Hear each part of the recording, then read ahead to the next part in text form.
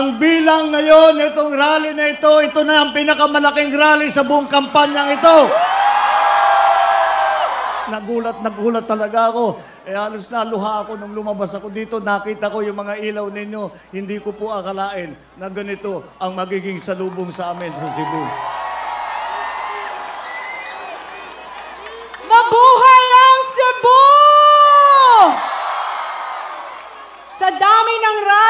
Ginawa ng Uniteam, talagang ang Cebu nagpatunay ngayong gabi! Masyado niyong ginalingan Cebu! Hindi na natin patatagalin pa Cebu! Sabay-sabay nating salubungin ang susunod na Pangulo ng Republika ng Pilipinas! Ferdinand Bongbong Marcos Jr.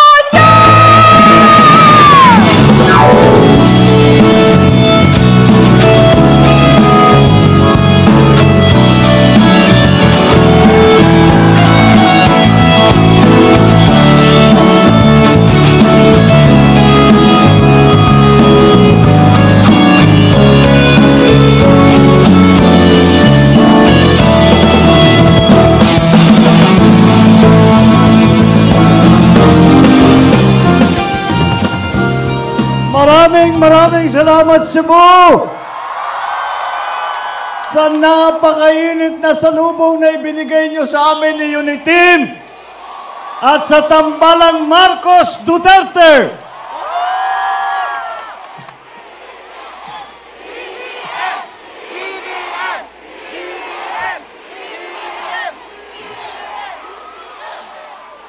Hindi nyo na po itatanong. Alam nyo po, alam ko po na marami sa inyo ay kanina pang nagantay, kanina pa nakabilad sa araw, ngunit hindi kayo umaalis. Kaya hanggang ngayon, kaya ngayon, ang bilang ngayon, itong rally na ito, ito na ang pinakamalaking rally sa buong kampanyang ito. Salamat Cebu sa inyong suporta, sa inyong tiwala.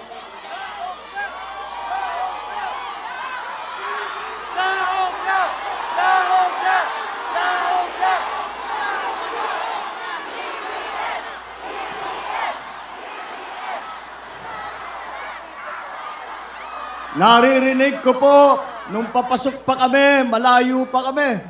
Sabi ko, siguro marami ang tao doon dahil malayo pa ay naririnig ko na ang inyong mga sigaw. Pagka doon sa mga nang kumakanta at pinapalakpakan ninyo, malayong malayo pa, naririnig ko na. Pagpasok ko rito, mas lalo pang lumika, lumakas ang sigaw.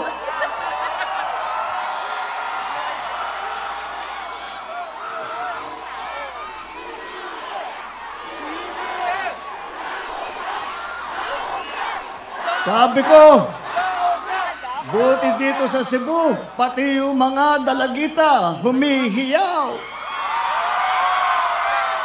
Excited na ako. Akala ko para sa akin, hinahanap ano? Burger. Sana, sana ang flavor Sandro Simon. Na-excited pa naman ako. Eh yung pala, hinahanap niya yung aking anak. Alam niyo po, hindi ko po kasama si Sandro ngayon. Ngunit, ngunit, ngunit, meron tayong kapalit. Yung aking bunso, kasama ko rito, ang pangalan si Vincent.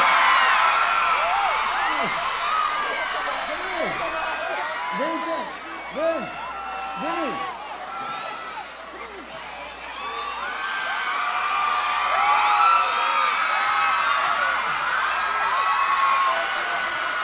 O yan, nakalimutan nyo na si Sandro at si Simon. Biruin mo, tatlo ito. Okay na ito, iwan ko na rito, kayo nang bahala.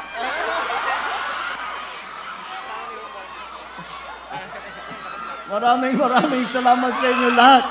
At sa inyong paabot ng pagmamahal, hindi lamang sa unit team, ay pati na sa aking mga anak. Alam niyo po, hindi ko na po sinasama si Sandro. Dahil po, totoo ito, ay nung nag, nagsisimula pa lang ako na mamulitika, ay pinayuhan ako, binigyan ako ng advice ng aking magulang. At sabi nila sa akin, ay huwag kang aakyat ng entablado na may, may kasama kang mas magandang lalaki sa'yo. Kaya sabi ko, sa, kaya sabi ko, Sandro, diyan ka na lang muna sa Ilocos Norte. At siya'y kumakandidato bilang congressman doon sa amin sa Ilocos Norte. Ngunit, papaabot ko sa kanya ang napakainit ninyong salubong, ang inyong napakagandang paghanap sa kanya, pati na yung inyong mga marriage proposal, tatanggapin ko na lahat at dadalhin ko na doon.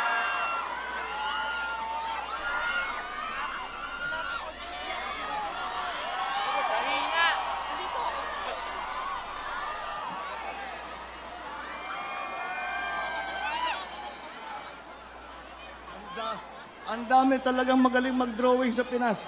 Maraming salamat. Thank you po. Alam niyo po, napakaganda na ng koleksyon ko nito, mga drawing na binigay sa atin ng ating mga kababayan. Kapag, kapag kami ay nagmamotorcade o kami ay nagrarally, lagi pong may dala ang ating mga kasama na ganito, kaya nakakataba po ng puso. At eh, kami po ay hindi sapat ang salita lamang upang maibawi namin ang pasa- pa- upang masabi namin ang tunay ng pasasalamat namin sa inyong suporta, sa inyong tuwala at bukod sa lahat sa inyong pagmamahal.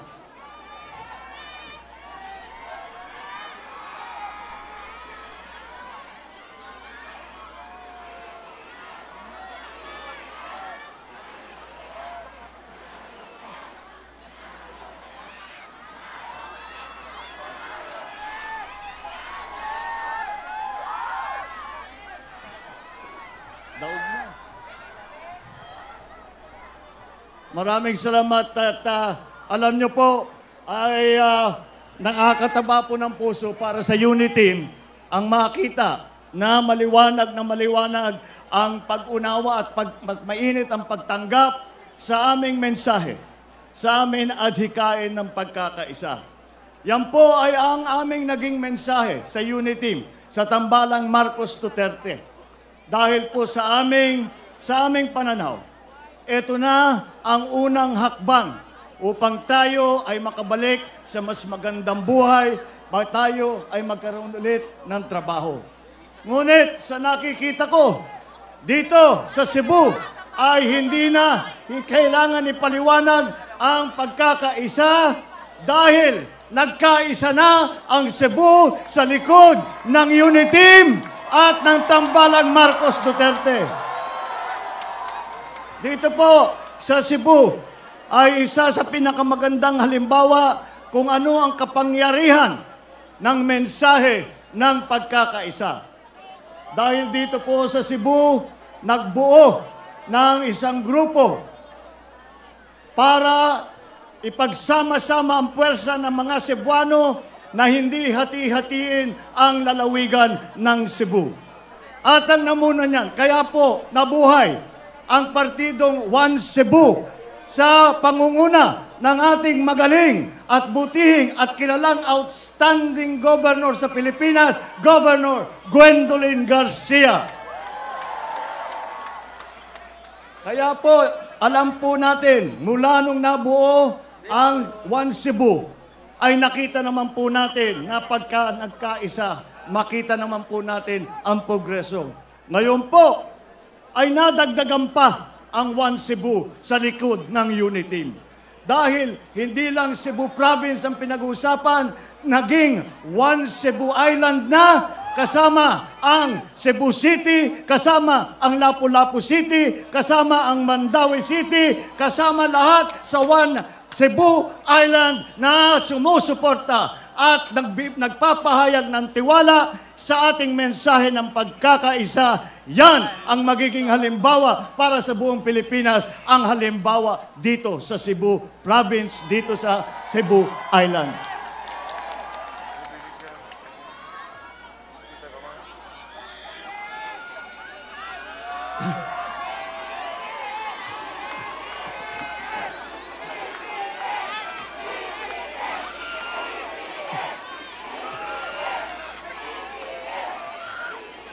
Alam niyo po, kahit na dito talaga special talagang itong nangyari ngayong gabi na ito.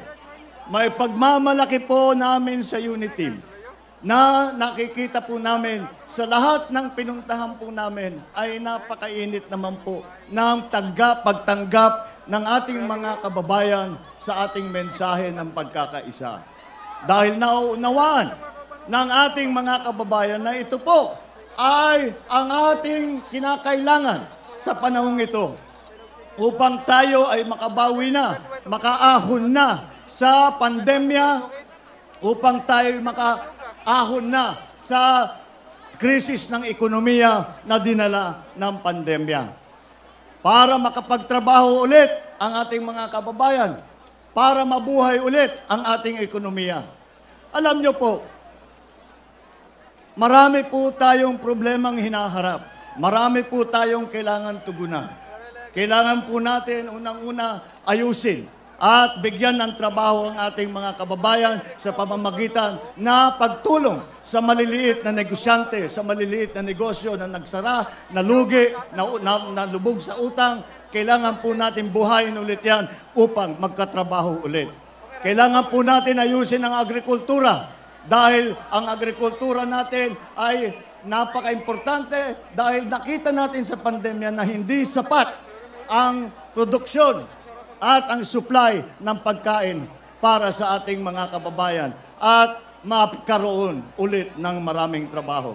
Aayusin po natin, lalong-lalo na dito sa Cebu, na napaka-importante ang industriyang turismo para makabalik ulit dito sa Cebu, hindi lamang ang mga tig, ang mga tigalabas kung hindi pati na ang ating mga domestic tourists ay padaramihin natin magkatrabaho ulit. Kailangan po natin ayusin ang ating mga ospital para pagka nagka-pandemya ulit, mas handa po tayo. Kailangan po natin ipagpatuloy ang sinimulan ni Pangulong Duterte na Build, Build, Build Infrastructure Program at palalawakin pa natin ito. Isasama natin dyan ang digital infrastructure, yung po ating internet, para ito'y bumalis, para ito'y lumawak, para ito ay maging mas mura. At isa pang napakalaking problema na kailangan nating tugunan ay ang problema ng napakataas ng singil ng kuryente. Ang susunod na administrasyon ay kailangan makahanap ng paraan upang ibaba ang singil ng kuryente nang hindi masyado mahirapan ang taong bayan. Lahat po ito ay kailangan nating ayusin. Lahat po ito ay kailangan nating tugunan. At alam naman po natin, tignan po natin ang kasaysayan ng Pilipinas. Sa kasaysayan ng Pilipinas, lahat ng nangyari na kahirapan, lahat ng problema, lahat ng krisis na dumating sa Pilipinas, tayo naman ay nakaraos. Tayo ay nakaraos dahil ang mga Pilipino ay tuloy-tuloy na nagtutulungan at nagpa, nag, nag, ginagawa lahat para sa kapwa, ay tayo ay nakaraos dahil tayo ay nagkaisa. At alam naman po natin, kung ang isang tao, kahit po, ga, kahit po gaano ka, kahit po gaano ka, kasipag, kahit gaano katalino, kahit gaano kalalim ang pagmamahal sa bansang Pilipinas, siya ay isang tao lamang. Kaya po aming tinatawag, sinasabi at pinag-uusapan ang pagkakaisa. Dahil kailangan natin ipagkaisa ang sambayan ng Pilipino. Dahil kailangan natin ipagsama-sama, ipagpinagbuklod-buklod lahat ng kakayahan, lahat ng galing, lahat ng sipag ng ating mga kababayan at kapit bisig tayo ay sabay nahaharap sa kahit na anong problema basta tayo ay magkasama kaya po ng Pilipino kahit ano ibato sa atin.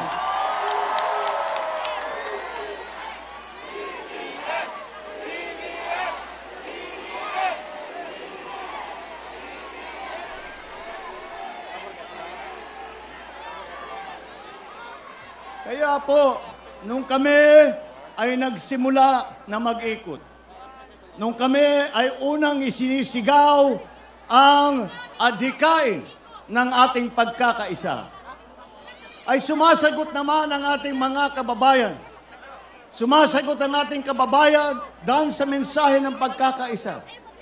Ngunit sa simula po, ito po ay parang bulong lamang na halos hindi pong marinig.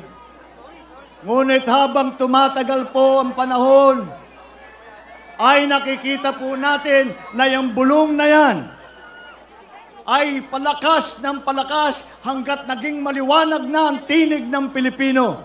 At ang bulong ay naging sigaw na.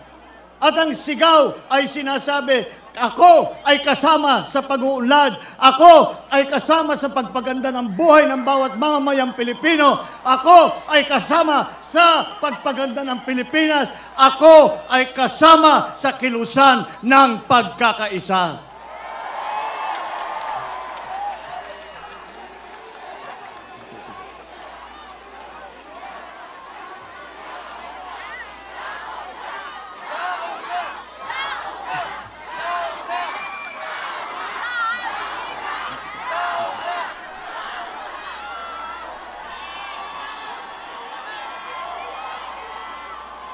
Daog na. O, panalo na daw. Thank you. Maraming salamat. Magandang gabi po sa inyo lahat.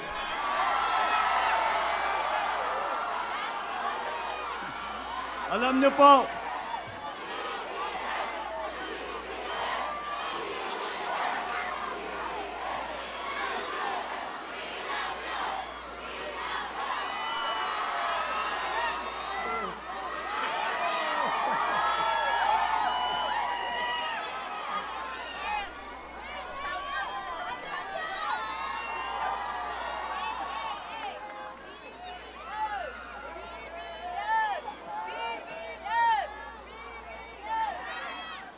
maraming salamat. Ang daming talented talaga sa atin. Talaga naman, hindi po namin makakalimutan itong init na salubong na ito. At alam niyo po, nung nagulat, nagulat, nagulat, talaga, nagulat, nagulat talaga ako. Eh halos naluha ako nung lumabas ako dito. Nakita ko yung mga ilaw ninyo. Hindi ko po akalain na ganito ang magiging salubong sa amin sa Cebu.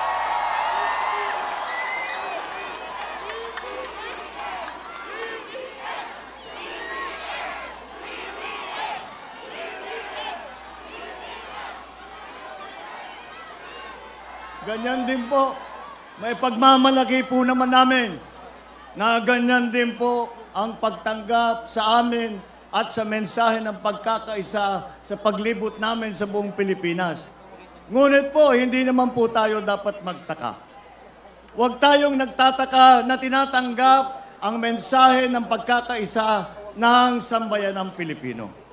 Dahil yan po, yung pagmamahal, yung pagkakaisa, yung pagkaka magpa- matulungin, yan po ay nasa puso. Yan po ay nasa ugali, yan nasa kultura ng mga Pilipino. Tayo naman Pilipino, hindi naman tayo palaaway. Hindi naman tayo naghahanap ng gulo. Madali lang patunayan yan. Tingnan niyo yung mga katabi ninyo. Oh, walang nakasimangot dyan, puro nakangitik.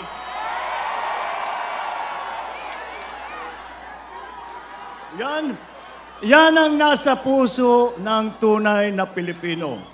Ang maging mapagmahal, ang maging matulungin.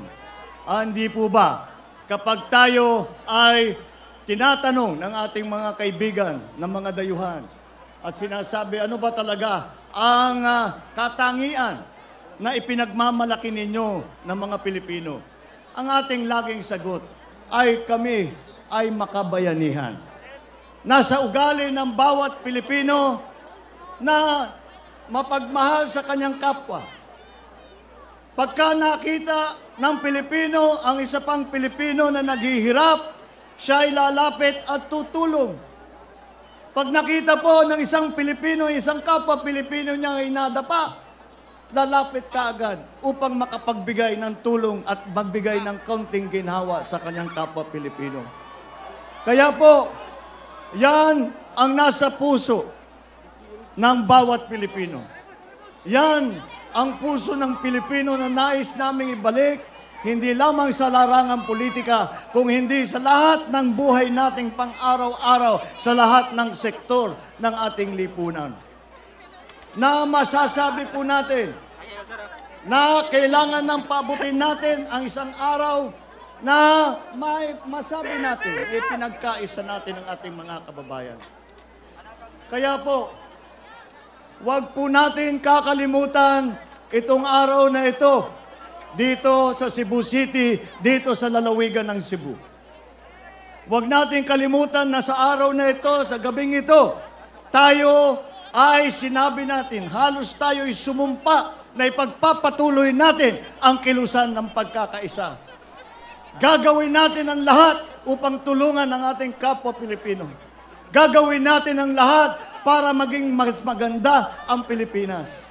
Gagawin natin ang lahat upang masabi natin dumating na ang araw na masasabi natin na ipinagkaisa natin ang sambayan ng Pilipino.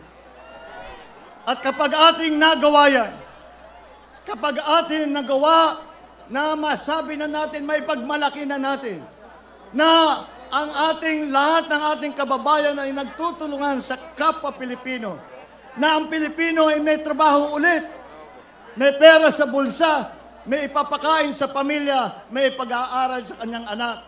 At bukod sa lahat, ang Pilipino ay magkaroon ulit ng pag-asa na ang kinabukasan ng kanyang hinaharap ay magiging mas maliwanag, magiging mas maganda kaysa pinagdaanan natin sa dalawang taon na nakalipas. Yan po ang aming hangaran. Yan po ang aming layunin, ang aming pangarap para sa Pilipinas. Kaya po, ipagpatuloy natin ang sinimulan natin na kilusan dito ngayon, ang kilusan ng pagkakaisa. At darating na nga ang araw kapag ipinagpatuloy natin to, kapag tayo gawin lahat ng kailangan na isakripisyo ay gagawin natin. Kung anong trabaho ang kailangan gawin natin, gagawin natin para ibalik sa pag-iisip ng mga Pilipino. At lalong-lalo na, hindi lamang sa pangkaraniwan na Pilipino, kung hindi sa mga namumuno na may paalala nila na dati ang ating pag-iisip ay laging ganito. Lagi nating dapat isipin, basta't ikaw ay Pilipino, kapatid kita, mahal kita, magkakampi tayo.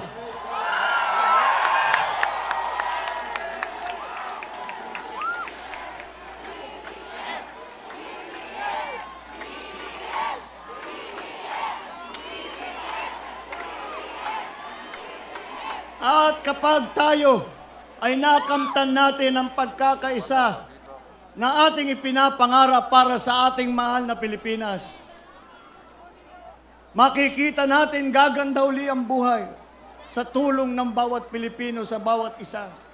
Gaganda ang Pilipinas at makakaharap muli tayo sa buong mundo. At tayo ay magmamalaki at sasabihin natin sa lahat, tignan nyo kaming mga Pilipino.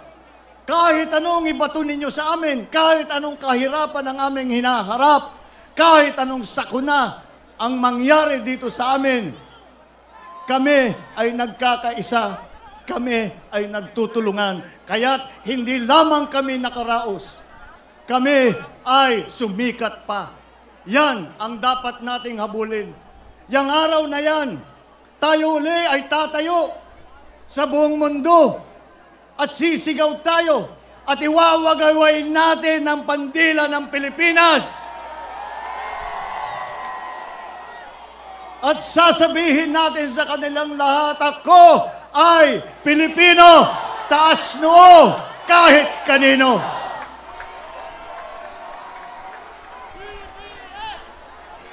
Kaya po, ipagpatuloy po natin ang ating sinimulan dito hanggang tayo'y magtagumpay. At ang aking pinag-uusapan na tagumpay ay hindi lamang ang tagumpay sa darating na halalan. Ngunit ang tunay na tagumpay na ating hangarin, na ating pangarap sa ating ban- bina- minamahal na bansang Pilipinas, ang tunay na tagumpay na tayo ay ipinagkaisa natin ang sambayan ng Pilipino. At kapag nagawa po natin yan, pag nagawa po natin yan na tayong mga Pilipino ay magsanib puwersa at sabay-sabay humaharap sa kahit anong problemang dumadating, mararamdaman po natin, sama-sama po tayong babangon muli. Maraming maraming salamat, dagang salamat. Mabuhay ang Cebu! Mabuhay ang Pilipinas!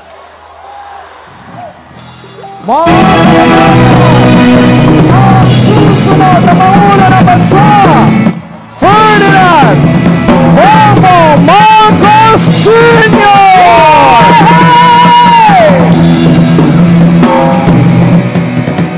Kasama ang susunod na Vice Presidente ng ating bansa, Vice President Inday Sara Duterte!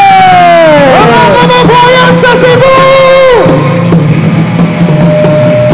Sama-sama natin isigawan tagumpay ng Unity!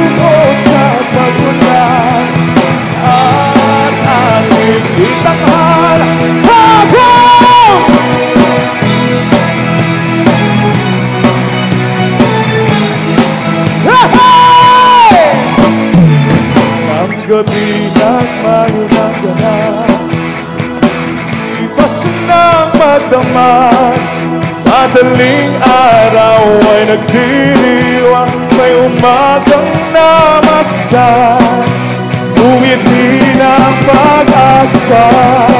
Sa umagang ano